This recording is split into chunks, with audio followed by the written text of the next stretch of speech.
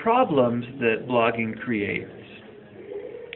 Uh, well, there, there are several. First, you have to be monitoring what's on the blog. Because you're not actively participating with them when they're commenting, there is a chance that somebody might say something offensive or inappropriate, and so you need a way to monitor that. There are ways to get around that. You can use keyword blocking on blogs.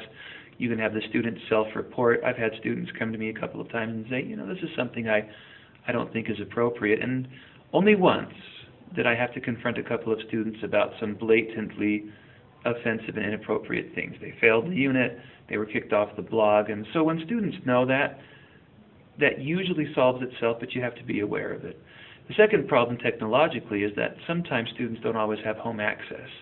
Now, we've gotten universal enough in internet coverage, penetration into the population, that most people have access. And if you have a school that has a computer lab, there's really no excuse. They can go before or after. And if you provide class time, it gives them enough incentive. But you do need to make sure that every student has access.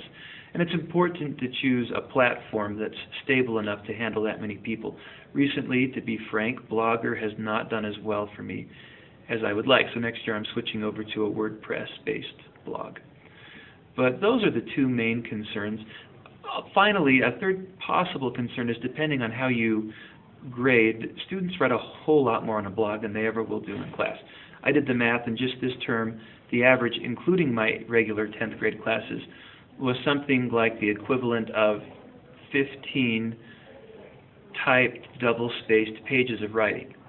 That's a lot, and that's a lot more than they would have written in just a conventional essay or even in the discussions that they would have made in class. So you have to stay, to stay on top of grading. I use TAs that I train to count comments and to assign a score based on if it's substantive or not. And really, that's not hard.